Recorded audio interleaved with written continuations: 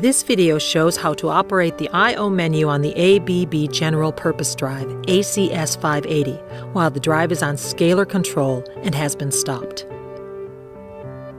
Now let's get started by going to the I.O. menu. Here you can see what all the electrical terminals mean to the drive's logic. All terminals have one or more configurable uses or modes. If more than one use is selected for the terminal, the I.O. menu will show it on the display. All terminals, however, do not have the same configurability in terms of use and modes.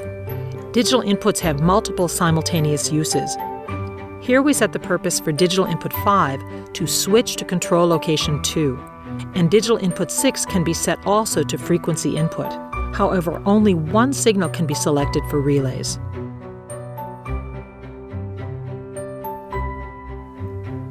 Depending on the terminal, different signals have been pre-selected for use and range limits.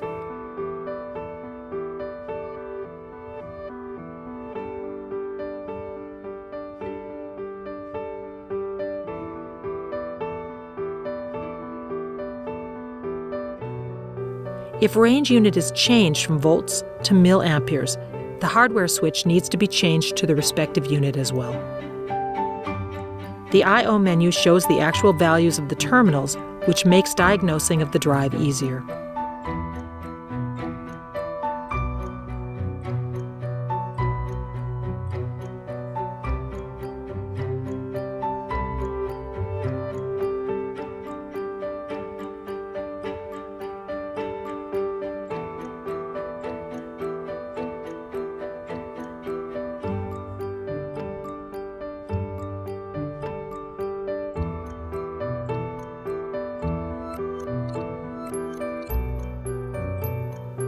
The actual values for analog IOs are also visible, making it easy to verify that the correct signal is taken and given through the device.